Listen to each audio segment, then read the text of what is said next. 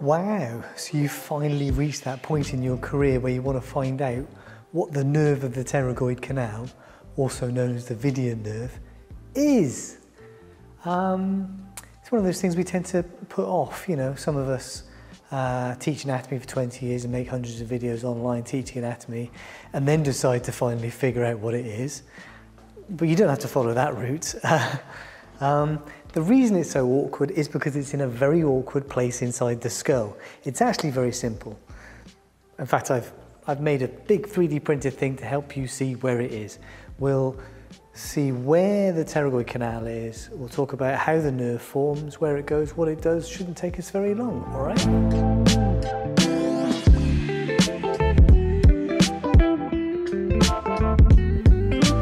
It's all about the skull. So pterygoid refers to the pterygoid plates in the sphenoid bone. So we need to look at those. And the nerve that we're interested in is actually formed from two petrosal nerves, and the petrous part of the temporal bone is in here, so we need to consider where that is, and then we'll talk about where those two nerves come from and where they go to, and we're done, right? Easy. Okay, right, sphenoid bone first then.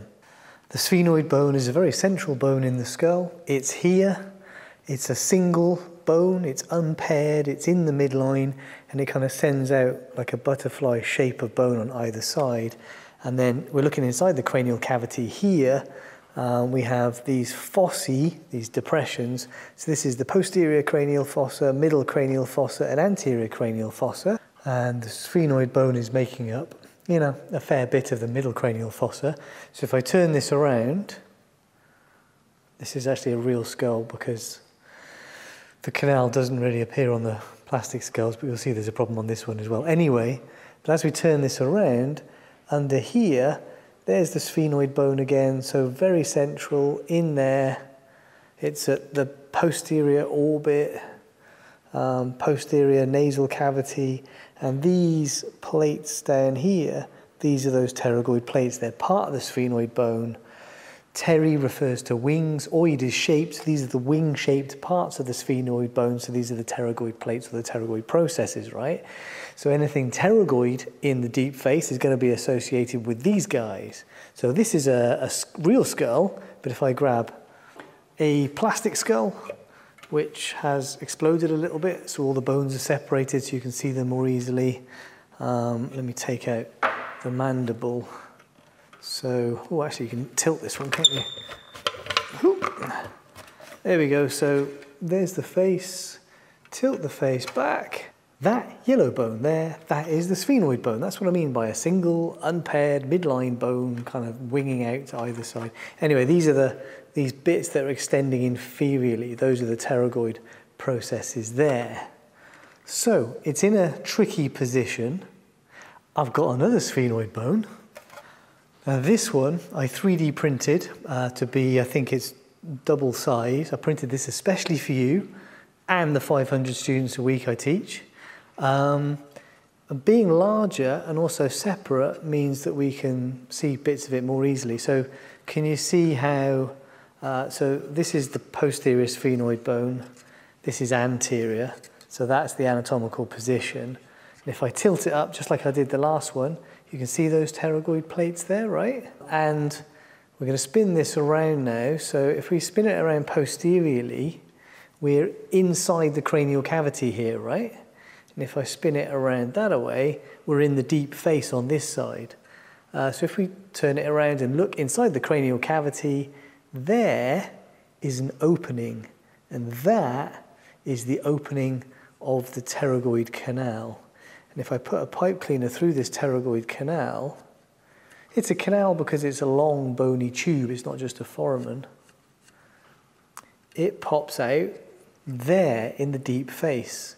Uh, and the other major structure that we find here that is pterygo is the um, pterygopalatine ganglion, which also sometimes gets called the sphenopalatine ganglion. That's the old name pterygoid is obviously part of the sphenoid bone. But the pterygopalatine ganglion is here, one of the four parasympathetic ganglia of the face.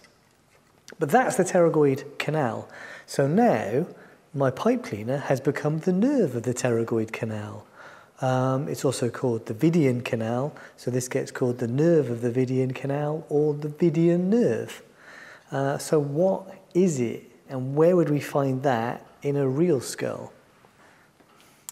Okay, so they're both in the anatomical position there. Whoop. They're still both in the same anatomical position. Can you see the sphenoid bone? Look, there's the sella turcica there. There's the sella turcica there. I've got to be very careful with these bones. Um, you can see how it's much larger, right? But you can see where the nerve of the pterygoid canal is here. It would be, it's way in there. So there's the mid middle cranial fossa, and there's the middle cranial fossa on that side. We have a number of foramina. Um, the one you can see there, which I'm going to label, that's foramen rotundum, that also goes to the deep face. And the superior orbital fissure, so the superior orbital fissure leads to the eye, the foramen rotundum leads to the deep face. And then we've got foramen lacerum down there. And right in there, right where foramen lacerum is, right down there. So we, we say that it's um, medial and inferior to foramen rotundum. But there is a tiny canal in there, and that is the pterygoid canal, and I can't see it. Maybe I'll see it when I'm editing, when I've zoomed in. But with my glasses on, with good light, I am struggling to see it in there because it's in such a little confined space. But that's where the pterygoid canal is, so that's where the nerve of the pterygoid canal starts. And I said there were two petrosal nerves. There's the deep petrosal nerve and the greater petrosal nerve. Now, deep petrosal nerve plus greater petrosal nerve equals nerve of the pterygoid canal. Those two nerves come together and they make that nerve of the pterygoid canal. We've got lots of little nerves in the face. And they start off, they're, cranial nerves, so they're coming out of the brainstem and they're, they're finding their ways through the bone to get to the face. And of course, the nerves formed as the bones formed. So they, they all formed together and they've made these little cracks and fissures and found their little ways out. And if I look at a whole bunch of real skulls, this will all look a little bit different in each of them. But that's what's happening. So what are those two petrosal nerves then? Oh, what does petrosal refer to? Well, we're going a little bit further back. This lump here, this is the petrous part of the temporal bone. That's the temporal bone. This is the petrous part. It's like, you know, petrified like a rocky ridge. In there are the structures of the inner ear. In there is the facial nerve and the vestibulocochlear nerve. We're interested in the facial nerve today, cranial nerve 7. So those petrosal nerves are essentially associated with the petrous part of the temporal bone. Let's do the easy one first. Okay, big eye model. It, if we turn this around, the reason I've got this one out is because posterior to the eye is the internal carotid artery. And that internal carotid artery, that's in that bit that we were looking at on the skull earlier. It's, it's right there. And what we can see on this model is we've got these lines painted on the internal carotid artery. These are sympathetic nerves, sympathetic fibers. Now, the sympathetic nerves have come from the spinal cord in thoracic levels, mostly.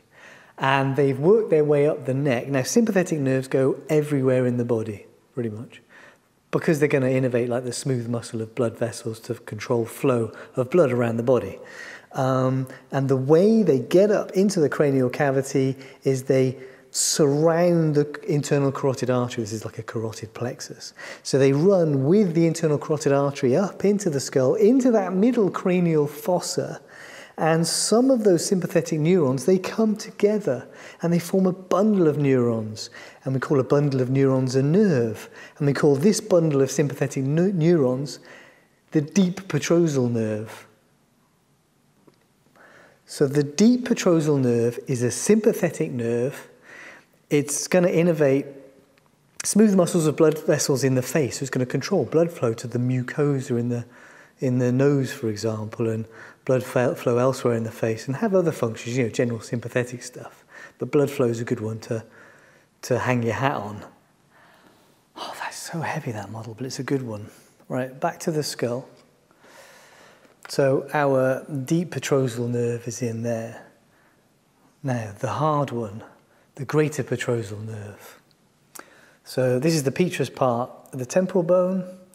Um, there's an internal acoustic meatus there, and like I said, in there runs the facial nerve and the vestibulocochlear nerve. The facial nerve, cranial nerve 7, the weepy, snotty, dribbly nerve of the face, and it has other jobs too. Inside, so as it runs into the petrous part of the temporal bone, in there it will give off a number of branches, and those branches will find their way ways out through various little cracks and holes and what have you. And there's one nerve that comes out, and it goes out through a little hole, um, and that nerve is the greater petrosal nerve.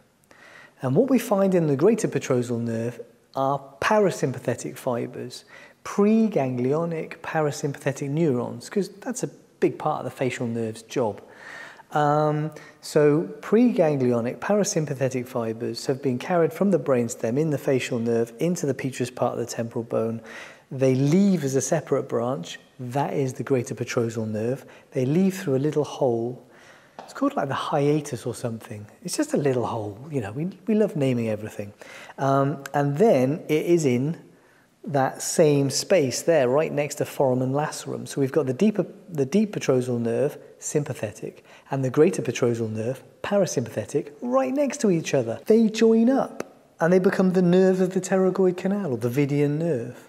So it's a mixed nerve of sympathetic and parasympathetic fibers. Now the sympathetic neurons, they, these are postganglionic sympathetic neurons. Their last ganglion was, will have been a cervical ganglion. So those sympathetic neurons within the nerve of the pterygoid canal will run through that canal to the deep face and then they'll run off directly to their targets. Whereas the parasympathetic nerves, these are preganglionic, so they're going to run through the pterygoid canal as part of the nerve of the pterygoid canal to the deep face where we find the pterygopalatine ganglion and the pterygopalatine ganglion is there as a collection of parasympathetic nerve cell bodies. So they synapse there. So the action potential from those preganglionic parasympathetic nerves, they get passed on to a postganglionic parasympathetic neuron that runs from the pterygopalatine ganglion off to other structures in the face, most notably to the lacrimal gland but also to the nasal mucosal glands and other bits and bobs. Like I said, I said the facial nerve is the weepy, snotty, dribbly nerve of the face. And this is how those parasympathetic fibers of the facial nerve get to the lacrimal glands to cause you to weep, and how they get to the glands of the nasal mucosa and the palate to make you produce snot. And of course, we said the sympathetic nerves affect blood flow, which also happens when, you know, when you get inflammation and increased blood flow and anyway, snotty nose, blocked nose, that sort of thing, right? Anyway, so that is the anatomy of the nerve of the pterygoid canal, the Vidian nerve. It receives sympathetic nerves from the deep petrosal nerve, the easy one. It receives parasympathetic nerves from the greater petrosal nerve, the hard one, and they come together to form a new nerve. And it's just a route for those fibers to get into the deep face so they can get to these structures. The location of the pterygoid canal is in the, you know, gets described as the, the medial pterygoid plate. But that's it there. So it's, it's difficult to appreciate where it is, it's difficult to appreciate where it runs, but hopefully you get a solid concept now. That is the nerve of the pterygoid canal that is what it does. It's pretty safe and sound in there. But um, so it runs from the middle cranial fossa to the deep face. All right, I hope that helped. It's not an easy thing to describe or explain or indeed understand.